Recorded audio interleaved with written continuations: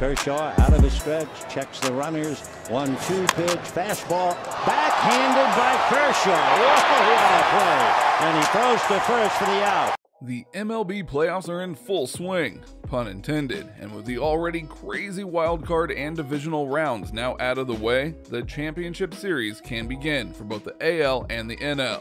For the National League, it is the Dodgers versus the Braves, which means that legendary ace Clayton Kershaw is going to be up on the mound trying to deliver a victory to his team.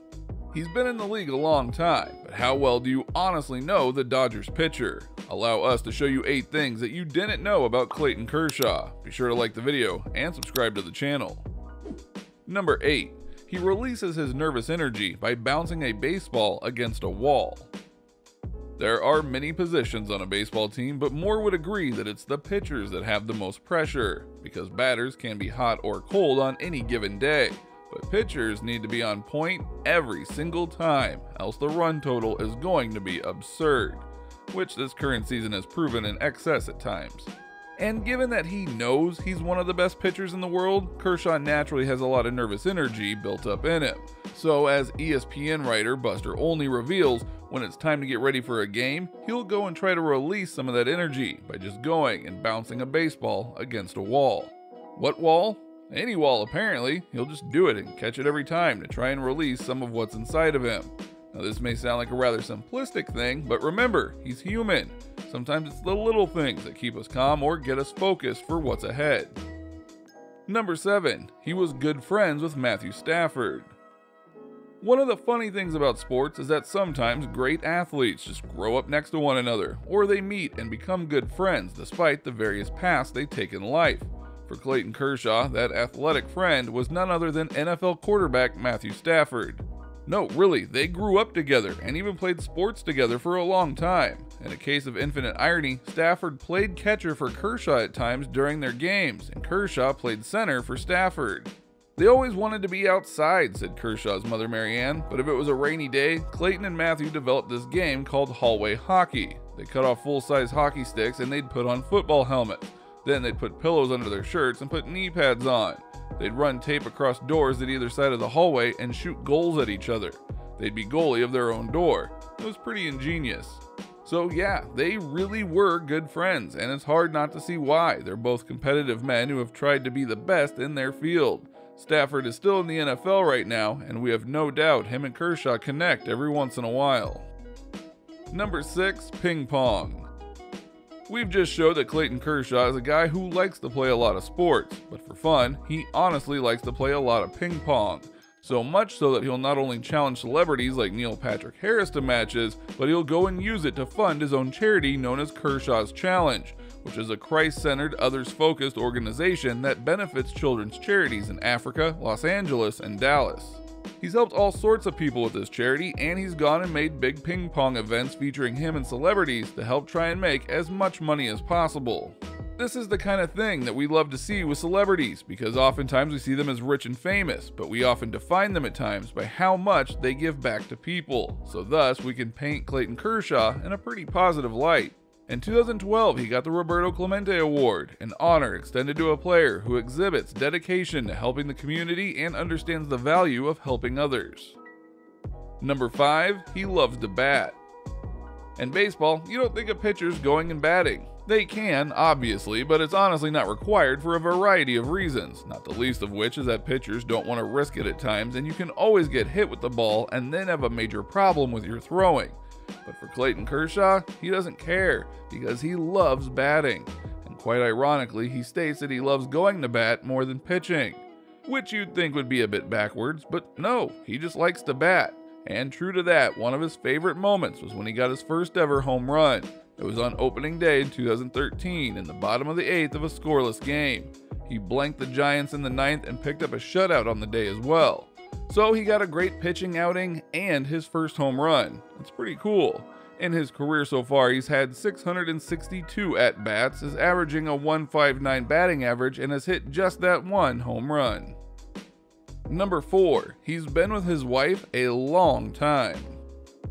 Clayton and Ellen Kershaw met at Highland Park High School in Dallas, Texas when they were both freshmen. She was 15 and he was 14 at the time. They also went to the same school as Matthew Stafford, the quarterback for the Detroit Lions, and also two MLB pitchers, Jordan Walden and Shawn Tolleson. Clayton asked her out in the hallway on his way to lunch, and she said yes. They enjoyed spending time together and hung around the same groups of people. He worked up the courage to ask her out after his class, according to an interview from Graham Bensinger. They started out as friends and would eventually be best friends before their relationship would grow into something more. They would eventually marry in 2010 while he was in the MLB. The wedding was held in Dallas, Texas, and the ceremony was held at Highland Park Presbyterian Church. It was a Dodger themed wedding, naturally, but it was in Texas because Ellen pursued her degree at Texas A&M. Following the ceremony, the guests were invited into the Royal Oaks Country Club that had great food and dancing. So yeah, great parties all around. Number 3, January 2015 would be a big month for him in two ways. You often remember certain months, years, and even days as special events. For Kershaw, the beginning of 2015 was a special time for him, starting with the birth of his first child. Cali Ann Kershaw was born on Friday, January 23, 2015. She weighed 6 pounds and 13 ounces and was 20 inches long. Clayton was excited about becoming a father, he told the Los Angeles Times in September of 2015. We're pumped. I know the feeling of feeling helpless when your daughter or someone else you care about is going through something. I just hope she is never sad. That's my goal. But that wasn't the only good thing to happen to him in that week. He won his third Cy Young Award the night after she was born. That's the kind of timing that you can't make up, as he got both a personal and a professional accomplishment in the same week. It's pretty special. Number two, he believes in routine and a certain pace. Pitchers are famous for having certain things that they do in order to get ready to pitch, but for Clayton Kershaw, he apparently takes that idea to the extreme. He is a human metronome, adhering to a process that provides him on the mound moments of deep satisfaction for which no form of currency could be exchanged. During the season, his life operates on five day cycles, and he has established hard mental lines on what must get done each day. Altering the system is not welcome.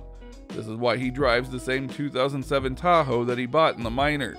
It's why he won't give up his ages old glove. It's been restrung repeatedly, and Kershaw now tells catcher AJ Ellis to ease up on the hard return throws. It's why he wears the same old t shirt and Dodgers shorts around the clubhouse. It's why he warms up between innings the same way. His routine is so predictable, as if he's on stage performing the same role again and again. He's an amazing character actor, says Ellis. He flips on the character and he does not break. That's an interesting way for a player to do things, don't you think? Number one, he simplifies the game. No matter the position, baseball is a very hard game to do, and there's a lot of pressure to go and perform at your top level 100% of the time which at times is easy and other times not so much. So much so that Clayton tries to take the edge off, if you will, just by simplifying things. Baseball is so hard as it is, he says. For me, if you simplify it, it takes a little bit of the weight off rather than trying to figure out all of these other things. It's just peace of mind. That peace of mind has led him to a long career with the Dodgers and potentially a future World Series win if things go his way. So, what do you think? What do you think of this look at Clayton Kershaw and the life he has both on and off the field? Do you better understand the man who can throw a baseball really hard for the Dodgers? Do you think that his legacy is already secure? Or do you think he needs to go and get that elusive World Series victory? And do you think that'll happen in these playoffs? Let us know in the comments below. Be sure to subscribe, and we'll see you next time on the channel.